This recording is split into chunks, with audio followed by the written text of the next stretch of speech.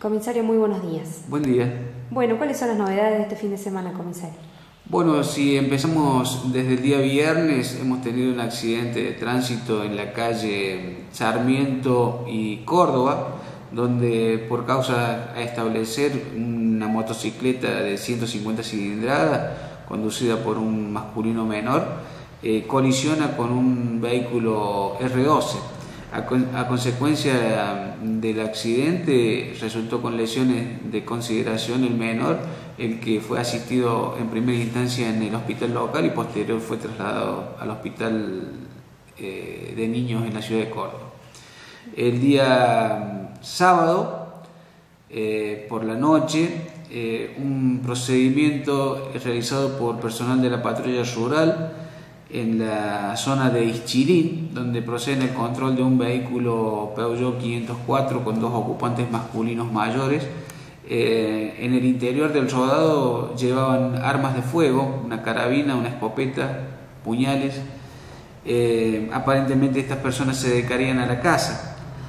Eh, por esa razón son trasladados a la comisaría local y quedaron alojados a disposición de la fiscalía.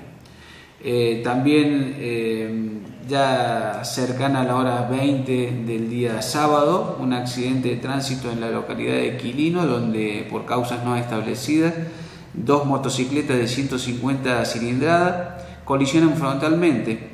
En, en una de las motos iba una pareja y en la otra un masculino mayor.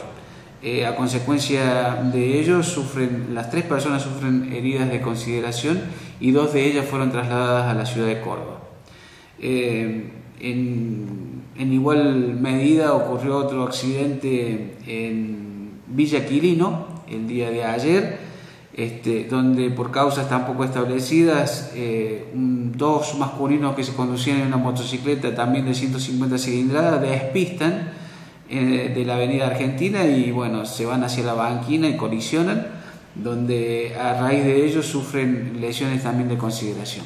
Bien, comisario, ¿y los detenidos por el asalto de Barrio Parque Libertad ya fueron trasladados? Sí, así es. Eh, las dos personas que, estaban, que están detenidas eh, por el hecho ocurrido el día 6 del corriente mes ya han sido trasladadas a la cárcel de Cruereje. Bueno, ¿alguna otra novedad, comisario? Nada más. Muchísimas gracias. Gracias.